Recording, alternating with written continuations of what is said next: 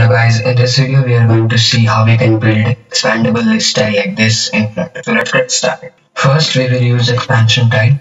Inside this we will provide leading property where we will use circle avatar and switchy asset and then it required title property so we will provide title property and inside this we will pass the title. Now we will provide the subtitle property inside this we will use a text widget now inside the children that is when we that is when we expand this widget what must be seen given inside the children widget we, i have already created a list expandable list tiles which contain which is which is a type of map.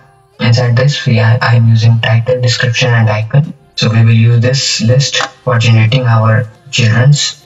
So let's use this expandable list tile. And here we will pass the widget called list tile. Beside this, we will use the leading property, a title property, and a subtitle. So in this way, we can implement this list expandable list tile in Flutter. Thanks for watching.